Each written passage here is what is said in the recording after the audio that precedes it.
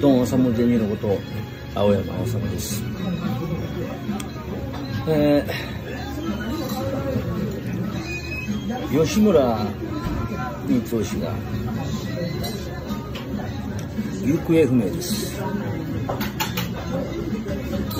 のドラゴン佐々木の番組に出て井上圭が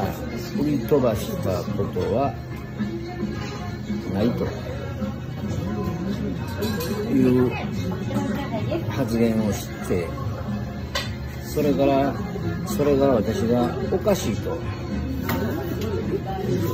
いう動画を上げてから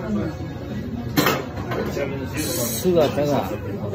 姿をくらましました。なぜでしょうか？あの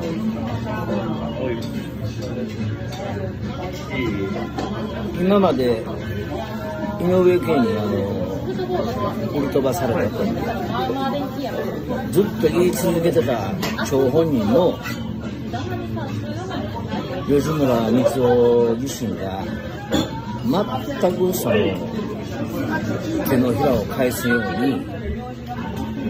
井上圭は売り飛ばしてなかったという発言をドラゴンの、えー、番組でいきなり井上圭をかばうような発言をして以来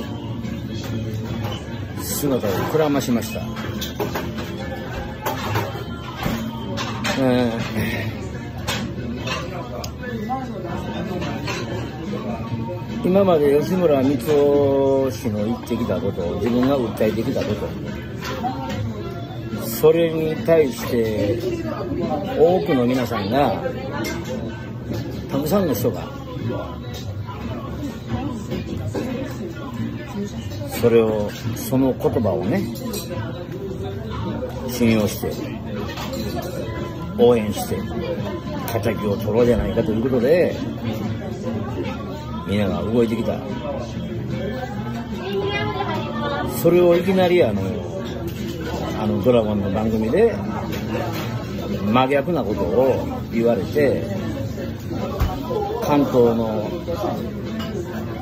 現役のもんまた現役じゃないもんみんなが怒ってます。